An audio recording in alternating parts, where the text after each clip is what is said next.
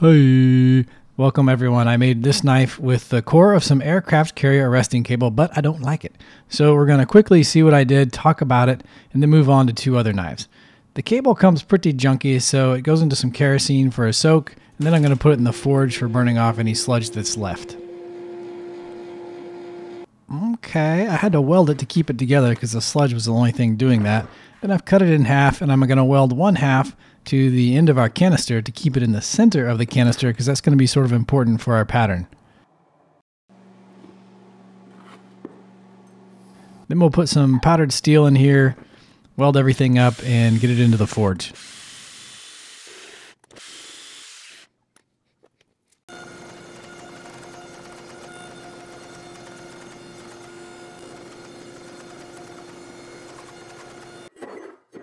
So our resulting billet looks pretty good. I'm going to cut it up into four pieces and do a four-way weld on this.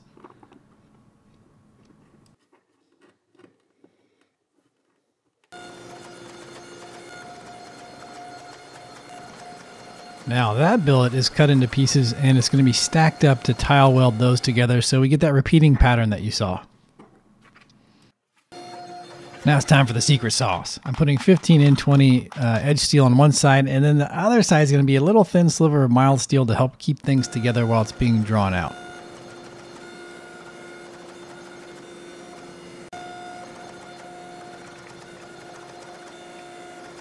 So here it is roughly finished and the pattern is just more distorted than I would have liked.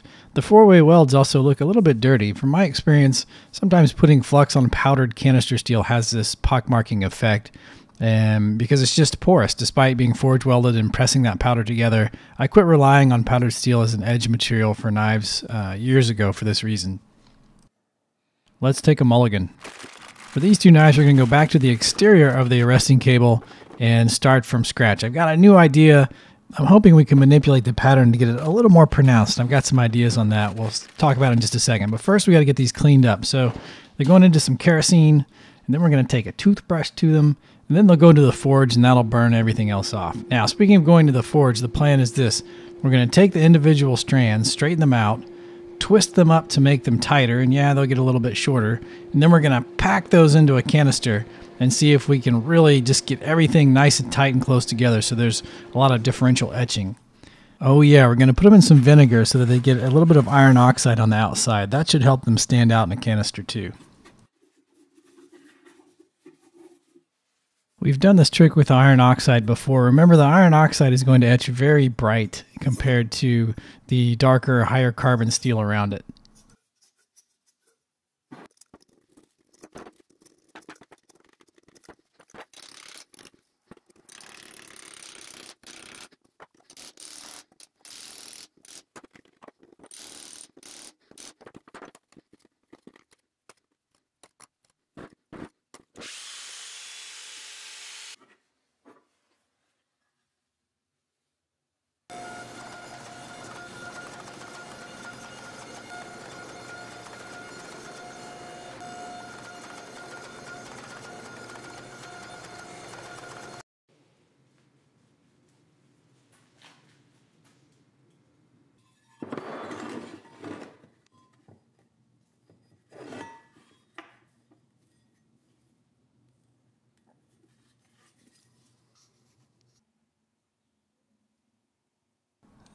So a quick and dirty etch makes this look a little bit denser. I'm, I'm hoping that this is a good sign. Just like the last knife, I'm welding 15 and 20 to one side for the edge material and a thin strip of mild steel to the other side to help keep that powdered steel from splitting and getting these tiny cracks when you draw it out. You have to grind those out and you end up losing some material. It's annoying.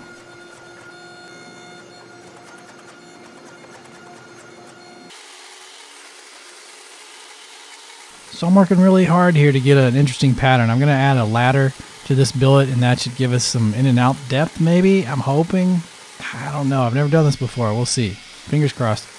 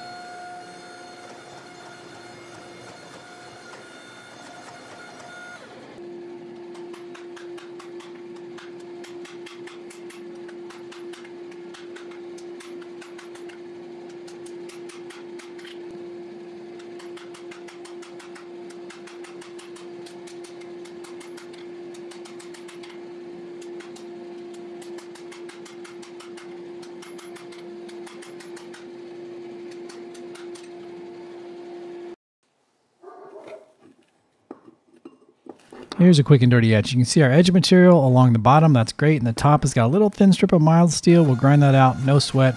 Time for a little more ladder to get a little more pattern and draw out the billet. Now I've had some extra material I cut off we'll use for our second knife that I'll show you at the end.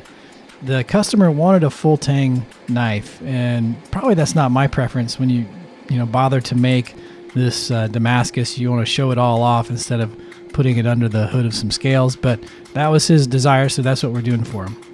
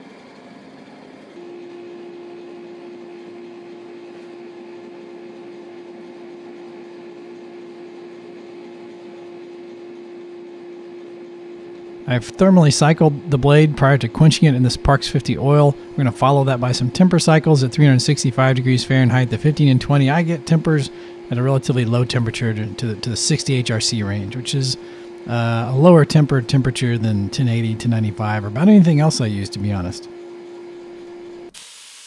The customer wanted bog oak scales for the full tang knife, and I didn't have any bog oak scales. I did have a block, which I didn't want to cut up for a full tang knife. So I just went ahead and made a hidden tang from the rest of the billet and I put the bog oak block on that. I'll show you that knife at the end. It's the same material. It looks pretty good. You'll see.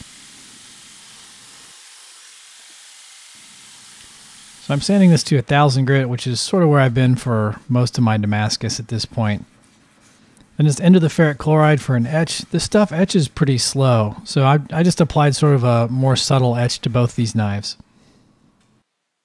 Keep in mind the bog oak candle on the second knife I'm going to show you does have Tru-Oil as a finish. I've been using more Tru-Oil recently. What do you guys think about that stuff? I've I didn't really appreciate it at first, but now I sort of like it.